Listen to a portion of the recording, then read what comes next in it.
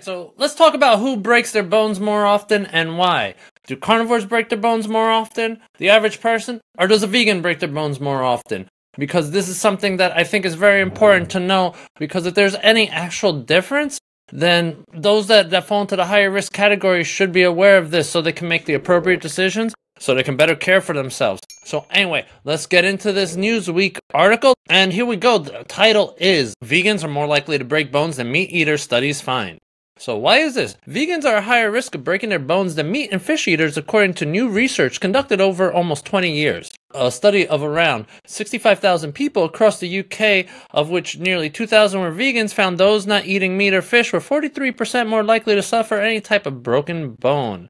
Participants in the Oxford study were followed for 18 years on average. Data showed 3,941 fractures in total during this time, with the biggest difference was found in hip fractures, where the risk in vegans was 2.3 times higher in people than those who ate meat which the study was published in BMC Medicine. And one of the things that BMC Medicine stated is that non meat eaters, especially vegans, had higher risks of either total or some site specific fractures, particularly hip fractures. So what does that mean? The studies are starting to show that vegans are fracturing their bones either partially or completely significantly higher than meat eaters. So think about going into that diet. I don't want you to hurt yourself and that's one of the reasons I'm talking about this right now. So, lead author Tammy Tong, a nutritional epidemiologist for the Nuffield Department of Population of Health, said we found that vegans had a higher risk of total fractures, which resulted in close to 20 more cases per thousand people over a 10 year period compared to people who ate meat. So that person is actually seeing this over a 10 year period. In addition to higher risk of hip fractures in vegans, vegetarians, pescatarians than meat eaters, vegans also had a higher risk of leg fractures breaks at other sites, including the arm, wrist, ribs, and clavicle, the data showed. The author said that the study's findings did not account for poor bone health or accidents.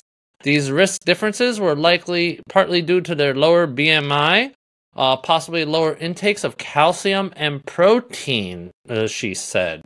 So, what does that mean? That means that the quality of your calcium and your protein is huge, and we know that when you're eating a vegan diet, the, the plant based proteins are not absorbed at, a, at the same rate as when you're eating meat. So it takes more calories to absorb the same amount of protein when you're looking at protein uh, amounts being the same in plant based or animal based proteins.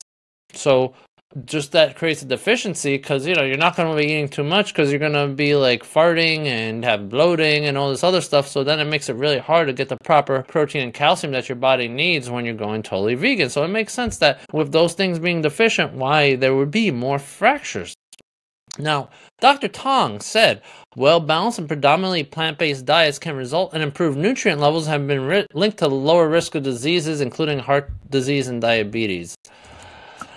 Well, we've seen other research that currently goes against all this, so sometimes just hearing one person's opinion, whether it's Dr. Tong or even me, is anecdotal evidence. So you need to look at um, meta studies and other things, but the meta studies definitely do not show that. Anyway, so let's continue moving on. The Vegan Society, founded in Britain in 1944, which turned, coined the term vegan, said there were 600,000 vegans in the UK uh, in 2019, equivalent to 1.2% of the population. The society has reported a rise in people choosing to avoid meat and other products during the COVID pandemic. They say it could be the cost, convenience, or increased concern for their overall health, environment, and/or animals.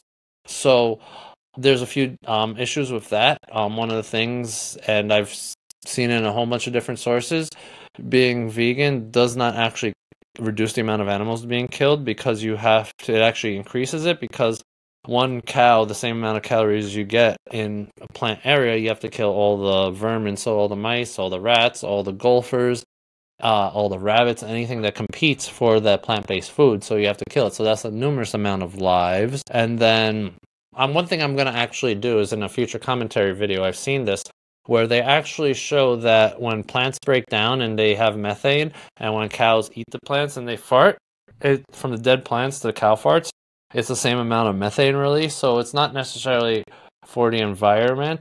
And then increased concern for their own health. If you're breaking more bones from a vegan diet, why do you want to have better health from something that results in bad issues like that? So there's a lot to think of.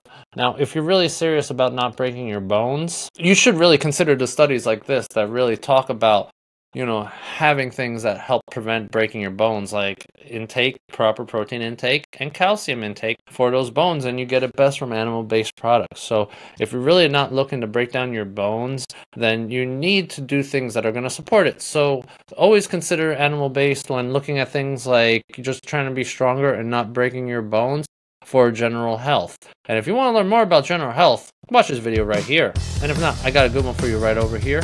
Thanks for watching, and I'll see you in the next one.